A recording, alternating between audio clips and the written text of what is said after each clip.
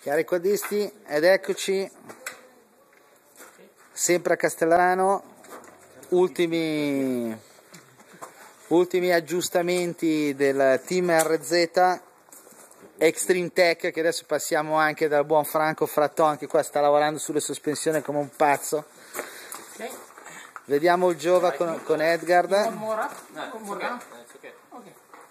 che stanno lavorando sull'angolazione del manubrio.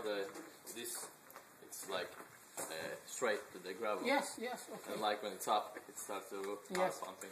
Yes. Sta chiedendo anche un manubrio diverso con una maggiore angolazione verso l'alto delle, delle leve. Eh, molto stancante per il pilota, ma eh, sicuramente Yes. in grado di, di dargli molta, molta, più, molto più controllo e molta più sensibilità sul mezzo. Praticamente vediamo Edgar che sicuramente predilige un mezzo molto più stancante per lui, ma un mezzo che gli possa dare molto più controllo eh, del mezzo stesso, della traiettoria e consente di mettere in luce la sua sensibilità. Impressionante il fatto che siano piloti che affrontano un 25, un 25 minuti e che richiedono delle, delle tarature eh, così stancanti per un pilota. Giova, com'è, un com'è, gassatore, diciamo ma com'è seguire un pilota che ti dice praticamente mettimi la moto in modo che io faccia fatica ma che sia più veloce da non credere. Questo è Giova. il gas duro, che tutti lo vogliono morbido. Il manubrio alto. Mi ha detto gas troppo tenero. Ho detto, Cazzo. Cazzo. Eh sì, forse ha ragione lui. Sì, fo- forse è una questione di Ha età. ragione l'altro Eston, Enrichis. È comunque incredibile la, la capacità fisica che- di cui si necessita per, eh, per poter gestire un mezzo. Cioè, per avere le prestazioni, questi piloti a livello internazionale sono i migliori in Europa. eh, vogliono anche un mezzo stancante, non gli interessa, ma devono avere la prestazione e hanno la capacità fisica adatta per sfruttare un mezzo in, eh, che, che stanca così tanto. Lui fa i works, magari di durata, senza guanti. Ma con i maratoneti È disperato che in Italia non può correre. E vediamo che eh, stiamo lavorando su- sui rapporti perché il Giova, il motore della Giova del team RZ, essendo una motorizzazione da crossa, ha scarica molti ma molti cavalli e il motore tende a eh, prendere troppi giri, cioè è immediato, sembra quasi un due tempi in coppia quando scarica cavalli e per cercare di far fare più metri ovviamente eh, stanno allungando i rapporti per fornire un attimino più di allungo al mezzo perché ha fin troppi cavalli, ecco queste sono le motivazioni dell'allungo dei rapporti al crossatome di Castellarano. Grande Franco, eccoti qua, sei qua con eh, una cifra di piloti e una cifra di mezzi, Franco. KTM, Yamaha, due piloti, Edgar e Andrea Cesari che hanno due tipi di guida diversi. Hai un bel da fare a, a ottimizzare le regolazioni a tutti. Parlaci un po' di queste regolazioni molto morbide che ti richiede Edgar.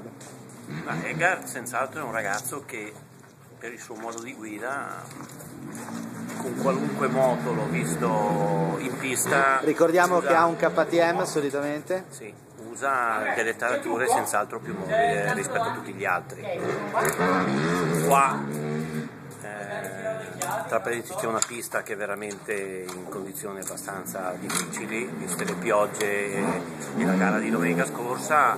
Comunque stiamo lavorando per mettergliela a posto, non è che direi che sta usando le tarature su questa moto che sono molto simili a quelle che usiamo con le moto di, di Roman eh, sulle piste dure, per cui eventualmente viaggia un pochettino più morbido, ma anche perché forse un pelino più leggero. Comunque ha una guida molto molto morbida, molto fluida e senz'altro è un beneficio su piste di questo genere. Andrea è senz'altro più pesante di lui, comunque guida il KTM da sempre, diciamo, non aveva avuto la possibilità di guidare mezzi diversi con un leveraggio sul posteriore per cui è costretto anche ad andare con delle moto un pochettino più rigide e senz'altro Andrea sta diciamo, imparando di volta in volta a migliorare anche la sua fluidità di guida che è migliorata notevolmente rispetto all'anno scorso. Non ci sono delle grosse modifiche che stiamo facendo, la moto di, di Andrea è nelle stesse condizioni di quella di domenica che ha corso in Germania. E mi sembra che abbia corso bene? Ha corso molto bene, sforzandosi di mettere in pratica quello che ha imparato ultimamente e dandoci meno gas di quello che normalmente ci vuol dare, difatti ha fatto delle ottime prestazioni. E ha portato a casa un risultato, parliamone anche. Ha portato a casa un grossissimo risultato, direi io sono convinto che farà molto bene anche il prossimo weekend e nei prossimi a venire sulle piste dure perché comunque lo vedo girare e vedo che i tempi sono comunque ottimi e soprattutto lo stile è veramente migliorato molto. È maturato molto come pilota, sta... ha trovato una via sua, uno stile suo e è riuscito a concretizzare quello che in questi anni stava preparando. Senz'altro, è diventato comunque, penso, soprattutto è molto, si è convinto delle sue possibilità, sa che può fare certe cose, ogni tanto strafà però eh, direi che il miglioramento è stato la tecnica di guida che è migliorata ulteriormente rispetto a quella buona già che aveva e la convinzione delle sue capacità. Sulla gara di domenica non c'è niente da dire, si è inserito subito dentro ai primi 10 e per tutto il weekend è stato nei primi 10, poi logicamente una buona partenza, si è trovato in un'ottima posizione. Da notare che al di là dell'incidente di, di Cupri erano tre ragazzini ai primi tre posti per parecchi giri eh, e i, i, più esperti comunque hanno faticato ad andargli vicino. Sono andati via, poi veniteci a prendere. Sì, esatto, per cui hanno, hanno, faticato, è stato molto bello. Grande Franco, un saluto, ti lasciamo agli ultimi settaggi della moto di Edgard e poi un un, per fine giornata un riepilogo, un punto della situazione sul, sugli vari stadi di preparazione dei mezzi. Va bene. Grazie Ciao. Franco.